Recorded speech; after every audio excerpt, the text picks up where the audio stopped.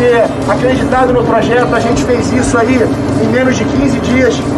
Muitos aí achavam que a gente não ia fazer, eu particularmente achei que não conseguiria fazer, mas aquele que anda comigo mais uma vez me mostrou que é possível, é possível a gente conseguir fazer, a gente conseguir realizar algo tão bonito como a gente vai realizar daqui a alguns instantes e poder ter a presença de cada um de vocês.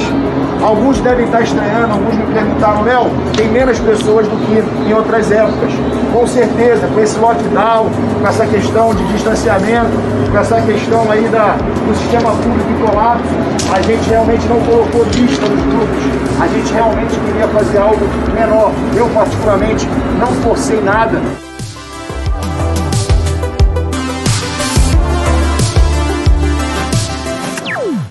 Sabe, vai comigo, por favor, nosso grito de guerra que a gente sempre faz todas as carreadas. Estamos por toda parte e somos luz da escuridão. E não mexa com um de nós. Nossa família é grande. Ela vai te pegar. Meu nome, prazer.